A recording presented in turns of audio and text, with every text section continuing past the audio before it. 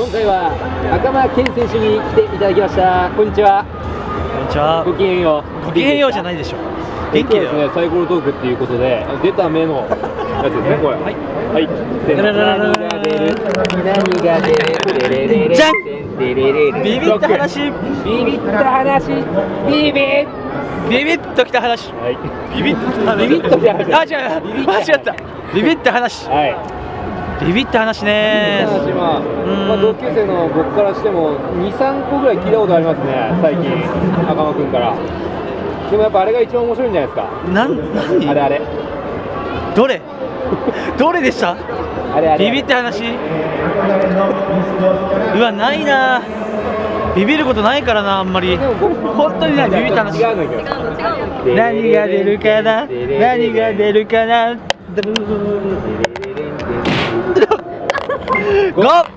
ちょっといい話。ちょいいちょっといい話ね。ちょっと待って。お。ちょっといい話。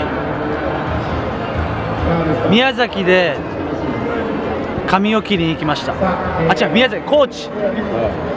高知で髪を切りに行ってそのお店の人に結構挨拶をよくしてたら最後終わり際にワックスをタダでプレゼントされました。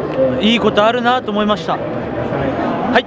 それはみんなにプレゼントじゃなくて赤間さんだからいや多分ね。挨拶したから。挨拶も元気よく挨拶もしたし。